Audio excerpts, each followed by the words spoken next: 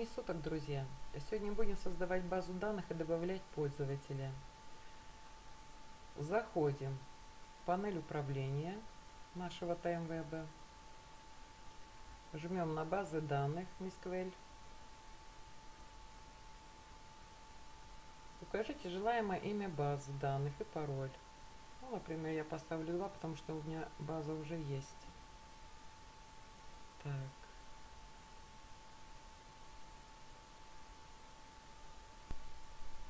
Сюда вводим придуманный нами пароль и жмем создать. Все, база данных создана. Теперь зайдем и посмотрим, как у нас создалась база. Двойку я ввела вам для того, чтобы показать, как создавать базу данных. А я зайду уже в свою готовую базу данных. Жмем сюда. У нас требует пароль ввести. Жмем ОК. Загружается. Вот она наша база данных. Вот так она выглядит на хостинге TimeWeb. Вот, пожалуйста, видите, как я нажала на PHP LPSB VP. Здесь вся структура. У меня здесь 18 таблиц. Действия, записи, все, размер килобайтов. Я вам коротенько рассказала. И сейчас я немножко покажу вам, как ставить пароли благодаря блокноту Notepad. Закрываем.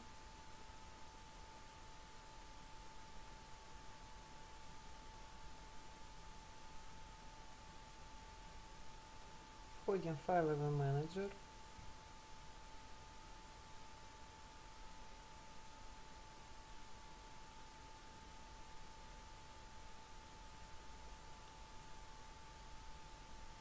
Вас, когда вы загружали WordPress, должна была создаться паблик HTML, нижнее подчеркивание. Вот в эту папку сейчас мы и зайдем.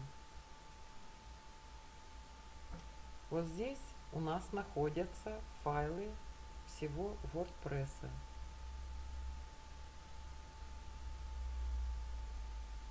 Ну а так как у меня уже действующий сайт, у меня помимо WordPress еще много другого чего добавилось. Но об этом говорить будем позже. Что нам нужно узнать? Нам нужно узнать одну вещь. И сейчас я вам о ней расскажу.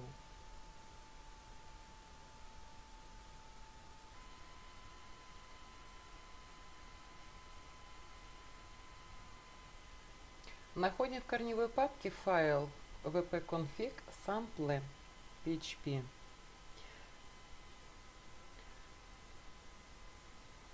Скачиваем этот файл. Вот у нас. Жмем ОК. Так, у меня открылся в Explorer. Закрываем Explorer. Жмем правую мышку, открываем папку. Вот он наш wp-config. Открываем.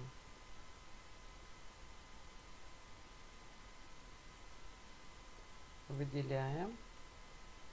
И открываем с помощью... Так, сейчас минутку.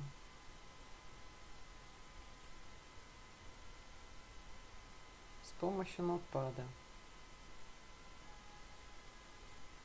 Да.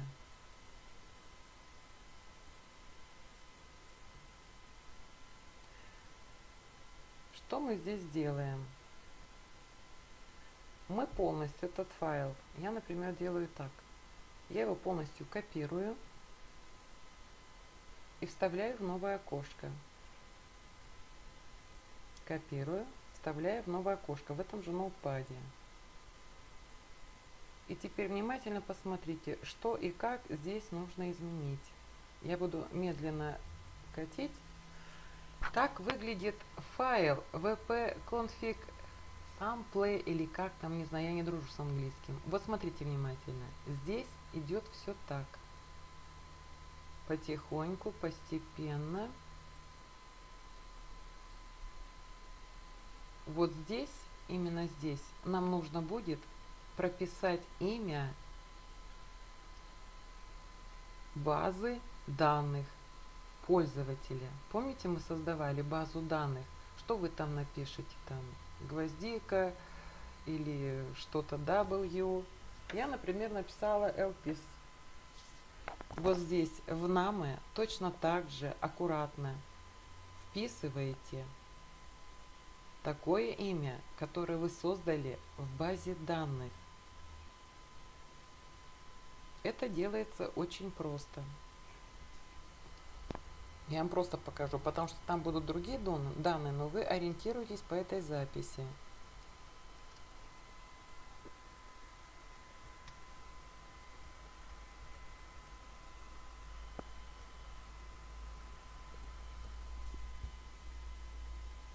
Имя пользователя, пользователя MISQL, база данных. То же самое. Точно так же здесь прописывайте пароль к базе данных. Я написала для примера, для урока 1, 2, 3, 4, 5, 9. Вы пишите конкретный свой пароль. Дальше что еще здесь меняем? Так, потихонечку. Уникальные соли. Вот здесь, вот здесь вы впишете свою уникальную фразу.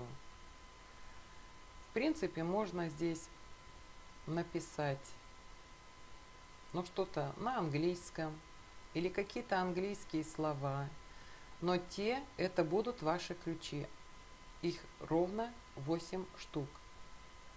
Вписывайте сюда. Самое главное, не трогайте вот эти вот маленькие скобочки. Вот точки, штрих, штрих. Вот между ними будете вписывать. Вот так аккуратно. Сейчас я вам покажу немножко. Это для новичков.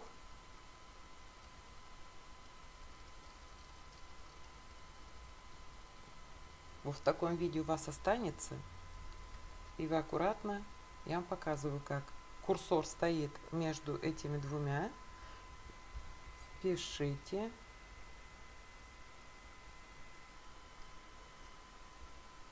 Сюда. Enter уникальную фразу. Вы впишете какую уникальную фразу. Это будут ваши ключи к базе данных. Но, в принципе, больше здесь ничего менять и не нужно. По крайней мере, я не меняла. Ну, все. Все это мы сделали. Теперь дальше что мы делаем? Мы заходим.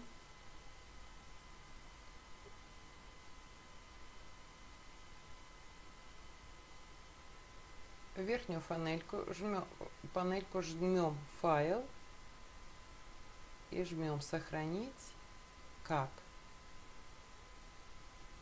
Вот он у нас сохранился как NEF2, но нам нужен, мы переименуем его и запишем config.php.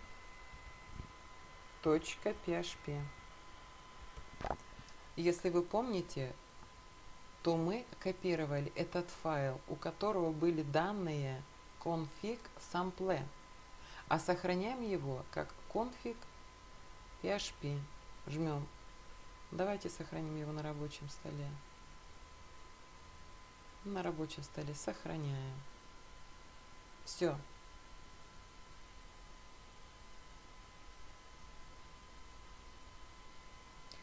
Мы заходим на хостинг, в нашу панель управления аккаунтом. Жмем файл, Это у кого TimeWeb? Почему большое преимущество хостинга TimeWeb? Я не знаю, как на других, на Джена и прочих, но здесь все можно делать без клиента FileZilla. И жмем «Закачать». Выскочило окошко «Закачать файл на сервер». Мы жмем «Обзор» и ищем наш файл. Выделяем его.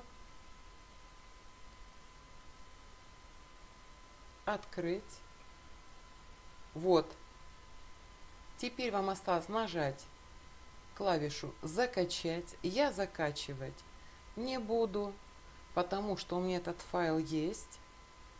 И как только вы закачаете, нажмете клавишу, у вас закачается этот файл. А я жму на отмену. Таким образом у вас появится вот этот файл config.php. Теперь здесь что можно проверить? Здесь также можно выделить его, выделить его и просто посмотреть содержание. Заходим в файл. Так, как же мне тут... Ага, вот так поближе, чтобы вам видно было. Файл. И, например, мы хотим просмотреть там, какие у нас данные. Мы жмем на «Редактировать». Видите, открывается наш файл, который мы закачали. Здесь на хостинге я никогда не редактирую и вам не советую. Все делаю через блокнот Notepad. Вот они все наши данные.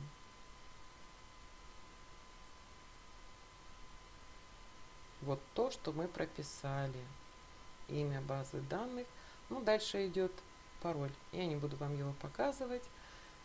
По крайней мере, я ознакомила вас, как обращаться с блокнотом Notepad, как изменить файл config sample на PHP, но, еще одно маленькое но.